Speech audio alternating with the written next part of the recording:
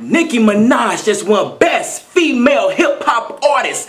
And you know what? She deserved it. So many people were saying, oh, she shouldn't have got it. She be making up this and making up words. Yabba yabba do. It don't matter. She killing the game this year. And you gotta give her credit. All this beefing between Lil Kim and Keys and all that other stuff. You know, the best thing she said tonight was, all the women just need to get together and get along, bring positive feedback. That's what that's how I feel. Look, Kim, Keys, Nicki Minaj, all y'all need to get together and do something because all y'all are beautiful, man, and y'all do good music. So stop all that beefing. Nicki Minaj, she deserved to win this award tonight.